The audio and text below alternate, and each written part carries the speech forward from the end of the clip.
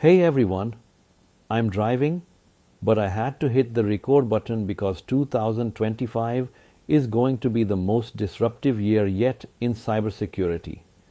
And if you're a student, a CXO, a CIO, or even a school IT admin, what I'm about to share could literally define your future.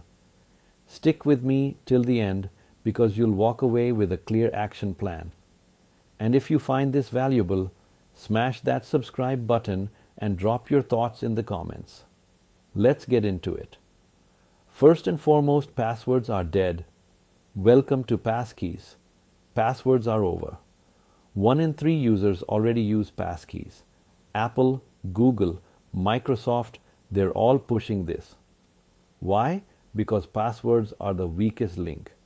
If you're in a company, start rolling out passkey support now. If you're a student, learn about FIDO standards. This will be a top interview question in 2025. Second, AI powered phishing. You will get fooled for sure. Remember those scam emails with bad spelling? Forget it. Artificial intelligence writes phishing emails so perfect that even your CFO will click. And it's not theory. Companies have already lost $25 million to deepfake video calls. What do you do? Implement multi channel verification. Don't trust a voice, a video, or an email without cross checking.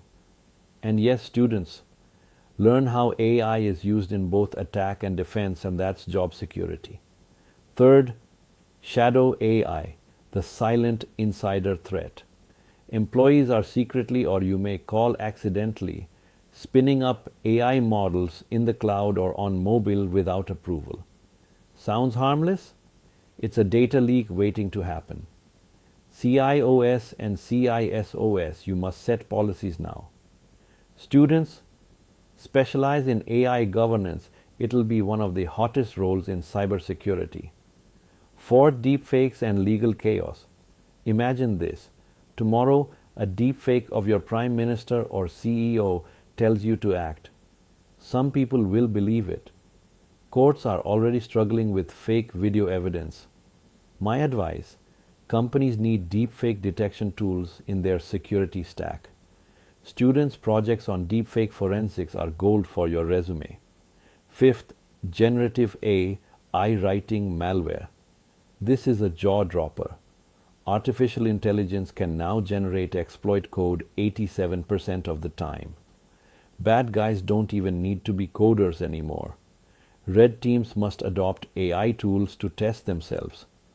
Blue teams, you need AI based threat detection. And students, stop just learning Kali Linux, start learning AI powered security tools.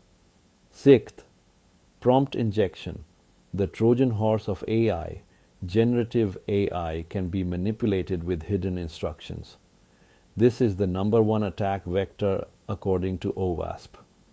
If you're a company, start training your teams about prompt injection now.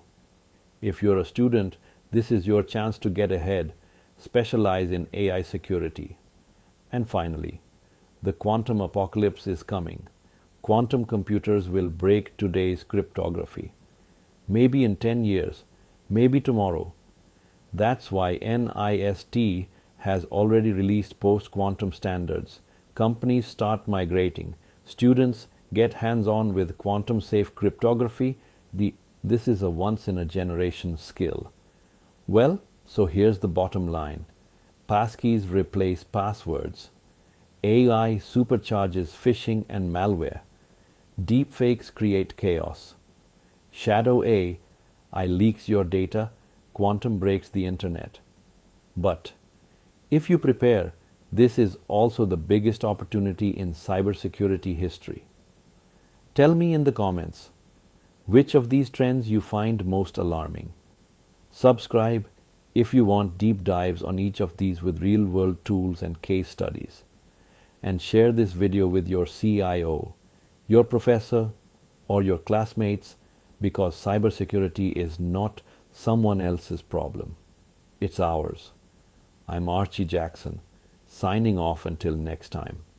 Stay aware, stay secure.